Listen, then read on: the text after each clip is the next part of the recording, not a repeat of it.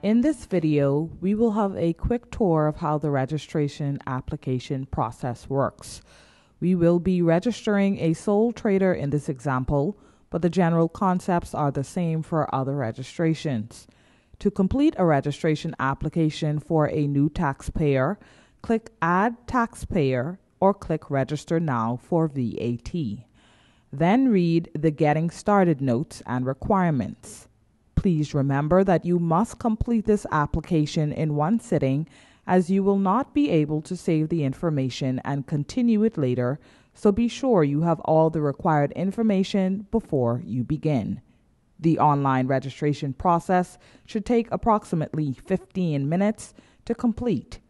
Click Start once you are ready to begin the registration application. The first step is to select the type of taxpayer you want to register. This screen allows you to understand the different types of taxpayers and allows you to select the one you want to register. Read the information carefully to be sure you're creating the correct type of taxpayer. You can get additional help by clicking this handy help button next to each taxpayer type. Clicking it again will hide the help. If you're unsure of how to proceed at this stage or any stages, please feel free to contact us at the VAT department and we'll be glad to help. A link to our contact details can be found at the bottom of all the screens over here. After selecting the type of taxpayer you want to register, scroll down to the bottom of the screen and click Next. The rest of the registration process simply involves completing each of the sections listed here by filling in the relevant information and then clicking Next at the bottom of each of the sections. When entering information, please be sure to type it in what is called proper case, which is a capital letter wherever there should be one.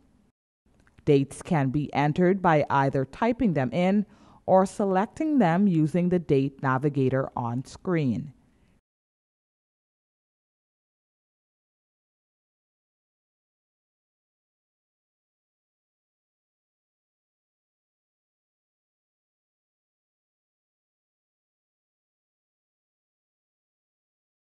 Clicking on Add buttons will require you to either type in information, select items from lists, as in the example with the business nature, or in some instances, you may be able to attach files to a company or registration.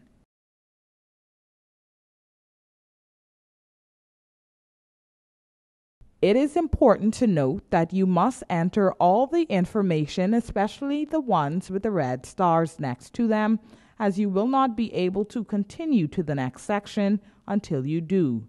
Not to worry, the system will alert you if this is the case via handy red tips both at the top of the page as well as next to each required item. Continue in this trend until you get to the last submissions page and then click the Finish button on that page to submit your application to the Ministry of Finance. A confirmation will be emailed to you once your application has been received.